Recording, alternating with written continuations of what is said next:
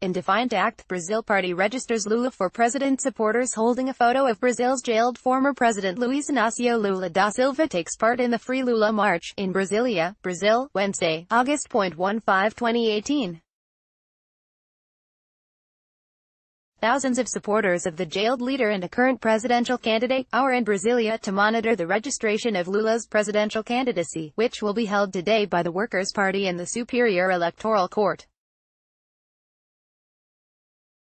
AP photo, Eraldo Peres, Brasilia, Brazil, AP, the Workers' Party registered jailed former President Luiz Inácio Lula da Silva as its candidate for president Wednesday, attempting to muscle him into the race to lead Latin America's largest nation and forcing a showdown with Brazilian electoral authorities. More than 10,000 of Da Silva's supporters flooded the area around the Supreme Electoral Court in Brazil's capital, while party leaders went inside to file the candidacy on the final day for registering. Soon after, Workers' Party chairwoman Gleisi Hoffmann emerged proudly showing reporters the proof of registration. Former Sao Paulo Mayor Fernando Haddad was registered as the left-leaning party's vice presidential candidate. I will only not be a candidate if I die, give up or am ripped from the race by electoral authorities, Da Silva said in a message read to the crowd by Haddad. I don't expect to die. I will not give up. And I will fight for my rights in the electoral justice system until the end. Da Silva is serving a sentence for a corruption conviction, but he continues to lead polls for October's presidential election. The Electoral Court is expected to bar him from running because of the conviction. Da Silva and his supporters insist he is innocent, contending the charges were trumped up to prevent him from returning to the presidency. Hours after the party registered, Attorney General Raquel Dodge filed a request at the Electoral Court seeking to bar Da Silva from running. Several others, including leaders of conservative groups, did the same. Supreme Court Justice Luis Roberto Barroso will handle the case himself or share it with a full panel of the Electoral Court. Both Dodge and Barroso have suggested in the past that Da Silva's bid to run again for president would not be allowed.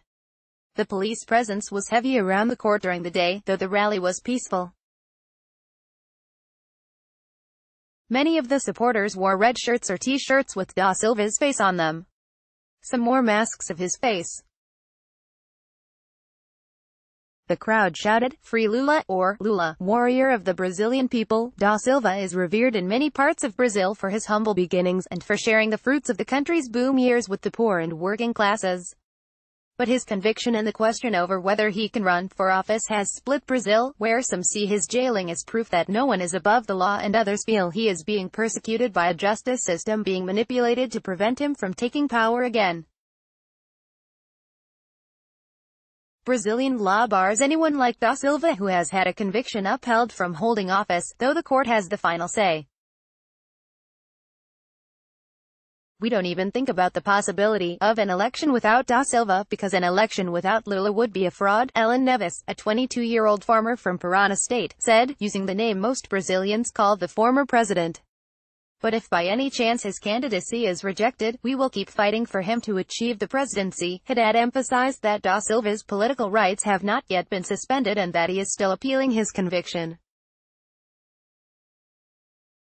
It is unclear how long the Electoral Court's decision will take but the Workers' Party has until Sept.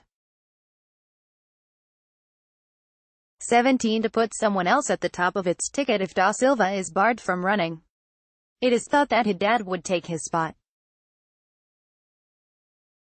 Da Silva was convicted last year of trading favors with a construction company in exchange for the promise of a beachfront apartment. That conviction was part of the huge car wash corruption investigation in which prosecutors have alleged that Brazil's government was effectively co-opted for years, with politicians doling out favors and state contracts in exchange for bribes and campaign contributions.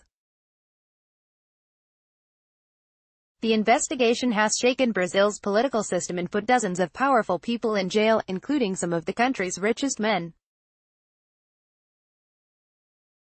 Underscore underscore underscore Associated Press writer Mauricio Savarese reported this story in Brasilia in a P. writer Sarah Di Lorenzo contributed from Sao Paulo. AP video journalists Mario Lobão and Dirley Rodriguez in Brasilia contributed to this report. Copyright Copyright 2018 The Associated Press. All rights reserved. This material may not be published, broadcast, written or redistributed.